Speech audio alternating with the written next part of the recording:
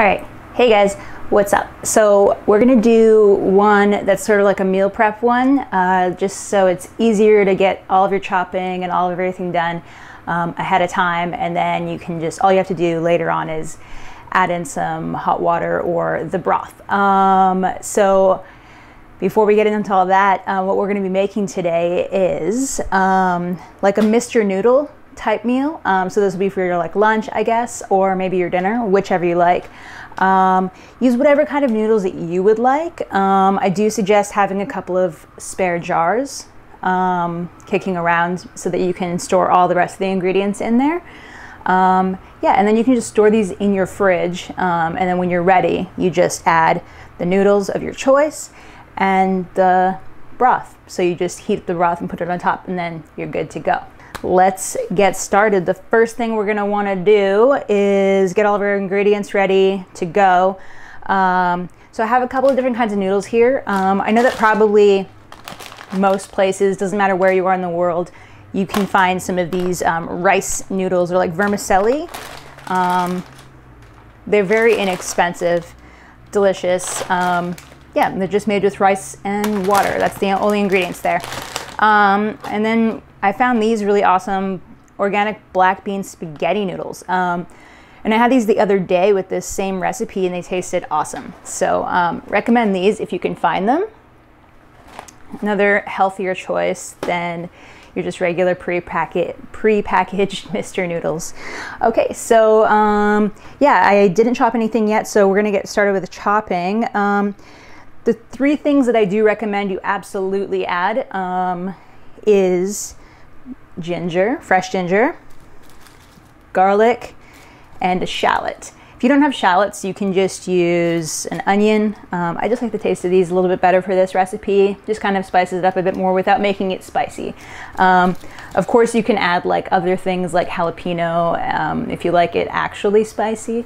But yeah, um, I'm gonna be using a couple of different greens today. We have some fresh broccoli and some bok choy and some zucchini or courgette um, and just a tomato. Just because I like tomatoes. This isn't like a necessary add, but I would add it to mine just for that flavor. Um, so yeah, oh, and I'm gonna add some mushrooms as well. Um, again, if you don't like mushrooms, don't add them. Um, but yeah, let's get started. So I'm just gonna do a whole bunch of chopping. Um, and yeah, oh yeah, I also have this, some green onions just to top them up more spice. Um, and then yeah, the only other spices you're gonna need is maybe some salt and pepper, but honestly, you don't really need that once you um, add in the broth. So for the broth today, I'm just uh, currently warming up a pot of water and I just have one of these like vegetable cubes, one and a half, um, and I have about three cups of water. Um, just follow the instructions on the broth. Uh, yeah, so for real, let's get started. I'm gonna start chopping everything up. All right, so as we chop up our herbs, we're just gonna put them right in the pan. Um, we'll leave the greens for last because they're just gonna go in raw. I'll just add these vegetable cubes.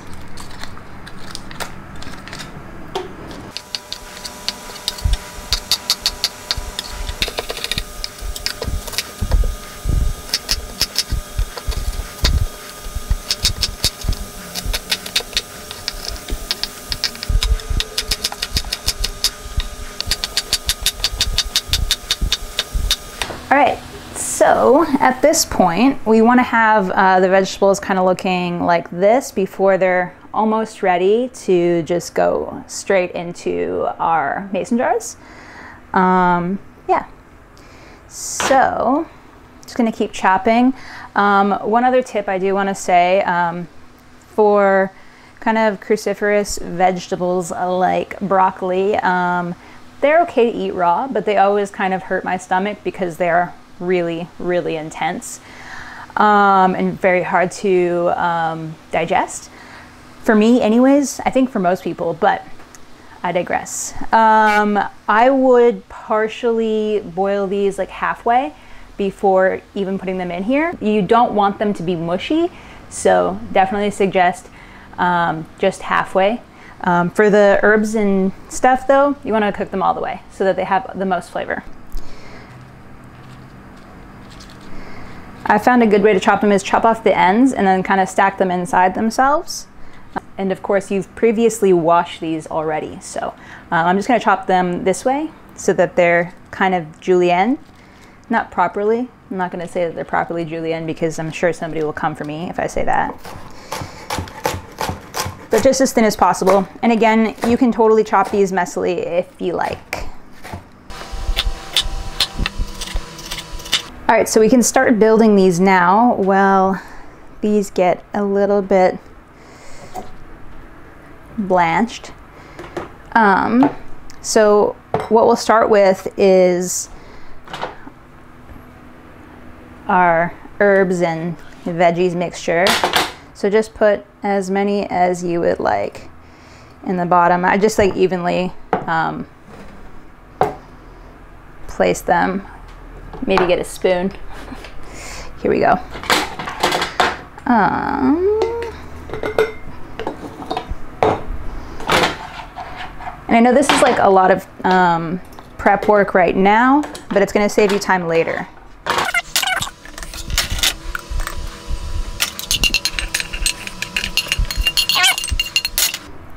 And then we're gonna wanna put our tomatoes in next.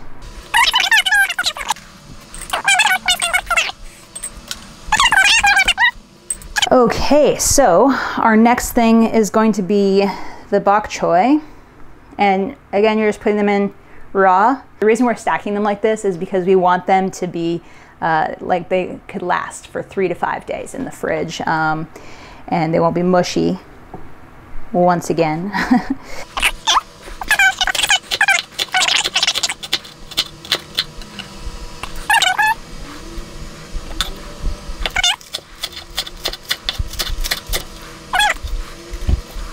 Cool. So for me, I have these um, black beans for today. It was what I'll use. Um, I could use the rice ones later. But yeah, um, what you want to do is add them to your meal.